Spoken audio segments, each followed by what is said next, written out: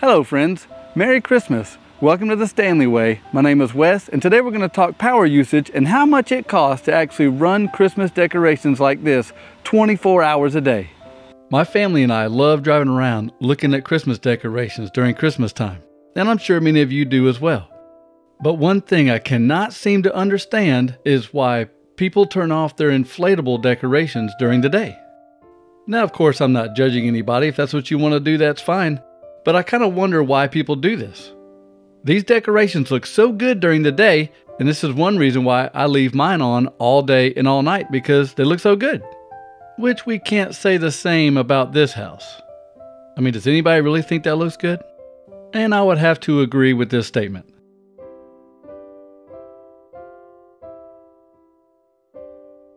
But I mean, let's look at these inflatables during the day. These things look incredible. A giant elf, look at Santa, the reindeer, snowman. Now, I think these snowmen, they may have a death wish. I mean, they're around a campfire, that's not too smart. And look at this one, not a Christmas decoration. But if it was deflated, that'd be a trip hazard. And of course, this is Halloween, but look at that. That looks great.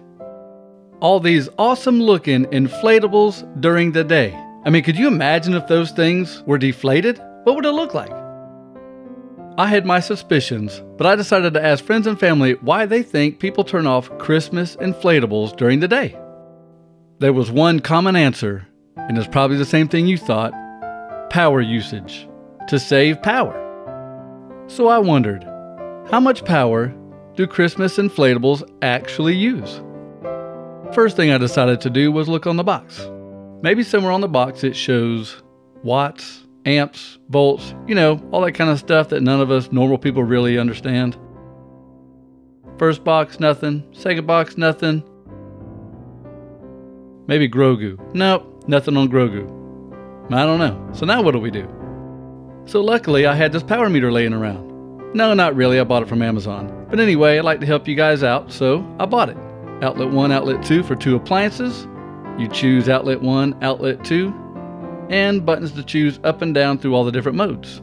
This thing is real simple to use. All you do is plug it into the wall, let it power up, shows you your volts, plug in the appliance that you want to figure out how much power it's using. And as you can see, this appliance is using just over 800 watts at 120 volts, 6.8 amps. Now with this information and a little bit of math, you can figure out how much power your appliances use. But let's bypass the math and just use the power meter and it's going to do it for us. As you can see it shows you hours, that's how long the appliance is running, and kilowatt hours, which is how the power company actually charges you for the power that you use. So now, back to my three inflatables. Let's see how much power they actually use. So I hooked my handy dandy power meter up to them and this is what I got.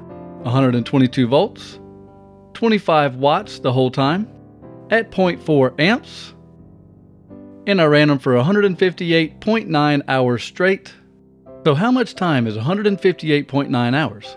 Well, what I did was I wanted to run them an entire week, day and night, without ever turning them off, but we had a few power outages, so it ended up being a little bit less than a week. So one week is actually 168 hours, I think. Uh, let's see. You take 7 times 24. Yeah, it's 168 hours, but I promise it's really not going to matter that much. You'll see. But what is important is what was our entire kilowatt hour usage for the whole week. Our power usage was 4 kilowatt hours for the whole week. Now, this means nothing to normal people, so we're going to compare this to appliances that we use every day. But first, let's remember watts. 25 watts is what our inflatables use. We'll start from lowest and go to largest. Cell phone charger. Now, my cell phone's at about 85% charge. And if you let it begin to start charging, it gets up to about 5.3 watts. Not too bad. Next on the offender list is a microwave. Just sitting there with the clock running is about 2.6 watts. But as soon as you open the door, it now uses 36 watts. Close it, heat up your favorite food. All we usually do is just hit 30 second mark and it's 177 watts. Now the 2.6 watts that a microwave uses just sitting there doing nothing doesn't sound like much, but you gotta think this is 24 hours a day, every day of the year. How about a crock pot? Who doesn't love an awesome slow cooked meal?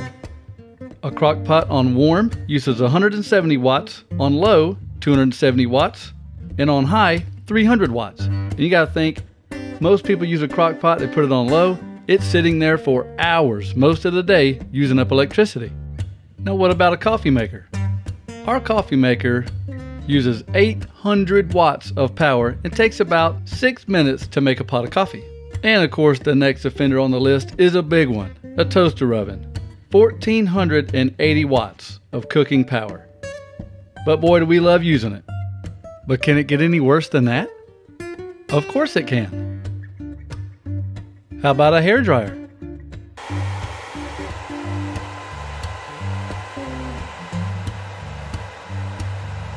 Seventeen hundred watts.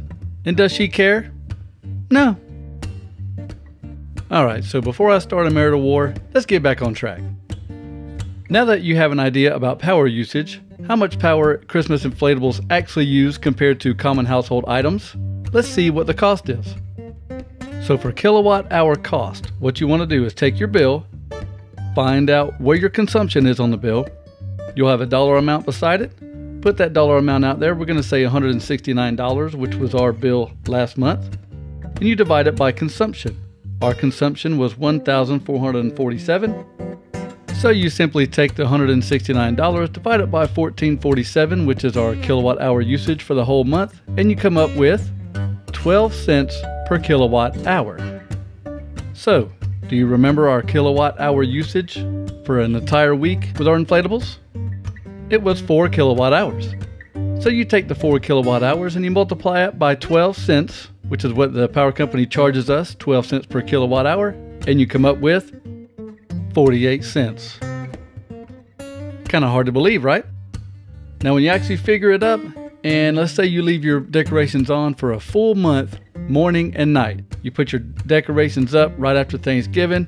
You leave them on for 31 days straight. That's still only about two to three dollars for the entire month of leaving them on constantly. So, what's your usage? Your electricity cost per kilowatt hour may be more, maybe less than what mine is, but the average right now is about 15 cents per kilowatt hour. Pretty close to what I'm paying. Now that you know the true cost of running beautiful decorations like this, you can have the confidence to run them all day and all night, 24 hours a day, without it emptying your bank account. As always, we hope you have a great day and a Merry Christmas.